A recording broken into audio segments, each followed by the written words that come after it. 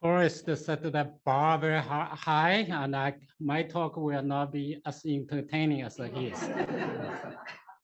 I'm Yiqi Lu, and uh, recently I moved to Cornell University uh, a few months ago, but the lead PI is Jen.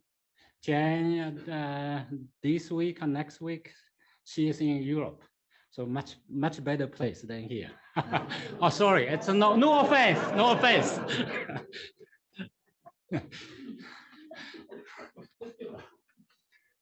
we have done quite a few uh, upscaling projects.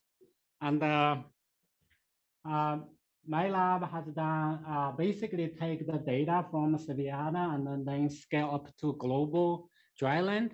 I'll, I'll discuss that uh, in the next slide.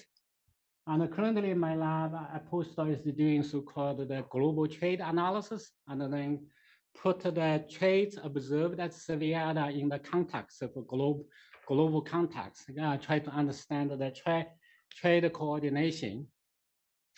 Tom Miller on the uh, in the meeting, and uh, he he's doing the biome transition across uh, vegetation type, and we also involved quite a few uh, uh, network of observations and uh, and some of meta analysis, and the major challenge at the Sevilleta is basically we cannot uh, fly June, and uh, so that's a limit to the spatial analysis.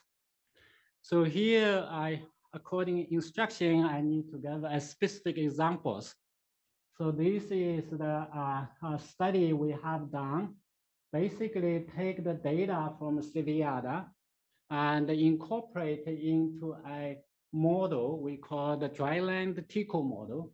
The TECO model is basically is a terrestrial ecosystem model that's typical uh, by uh, you know by uh, ecosystem model developed by by my lab, and uh, we use the data simulation and incorporate uh, incorporate more than 10 data sets uh, into the model, trained model, and then we use that data trained model uh, conducted a 8,330 model experiment and then use machine learning to scale up uh, to global scales.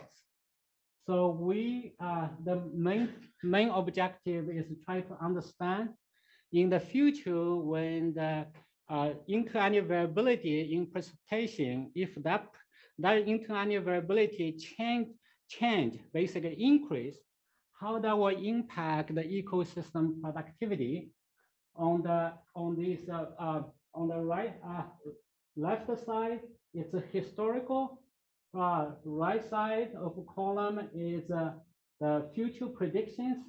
And uh, basically we use the you know quantified the precipitation variability and the impact on above ground net primary productivity you can see at the uh, bottom panel, you can see that in the very, very dry, dry area, increased uh, interannual variability of precipitation actually lead to increase in net primary productivity in so-called hyper-arid and arid land. But in those uh, uh, subhumid dry land, actually the uh, above ground NPP is decreasing for either historical or the future and uh, overall, the total global uh, uh, dryland, the productivity is increased as indicated that in the black bar. So the actually the in, increase the it's uh, it's it's useful actually it's favorable for productivity. So our experience is basically currently we have three modeling group that's interested in the in the scaling up and uh, we, you know, we, we uh, combine the model, data simulation, machine learning, and a global database to do. And uh, last slide is basically uh, we try to connect the broader scales and then have a global perspective. Thank you very much. Thank you. Thank you.